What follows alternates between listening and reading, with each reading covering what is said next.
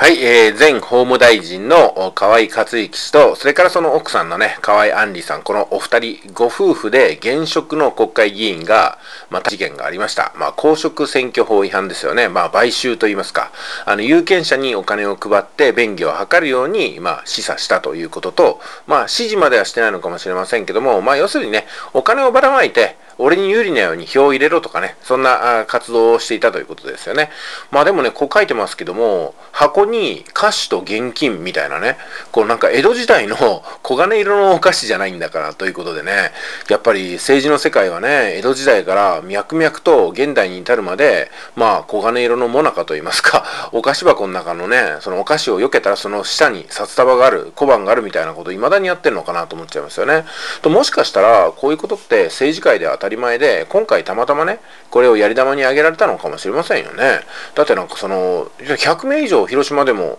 河合克行さんからね、お金受け取ってるわけでしょ？ということは常態化しているわけなんですよ。当たり前のようにですよ。だって、これ、ほとんどの人がやっちゃってるわけですよね。うん、わかりました、みたいな感じで受け取っちゃってるわけですよ。突っ張りられないとか。しかも金額がちょっとせこいというか、なんか10万とか20万みたいなのをね、受け取って公職選挙法違反とかってね、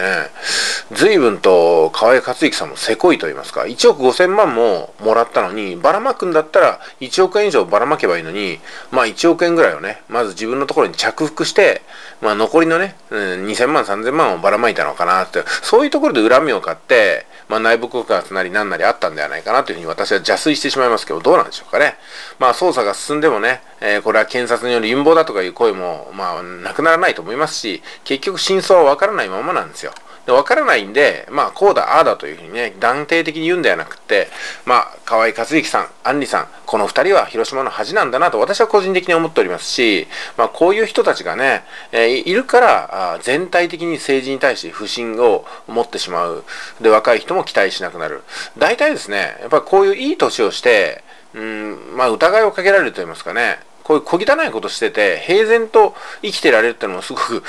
怖いなと思いますしね、どういう価値基準でやってるんだろうかと。そしてそういう人が、こういうふうなね、国会議員になったりとかね、法務大臣という法を司る人になれるっていうのがね、もう本当に消せないと言いますか。で、河合克行さんはね、法務大臣を辞任されましたけども、その後に来た森雅子さんがまたね、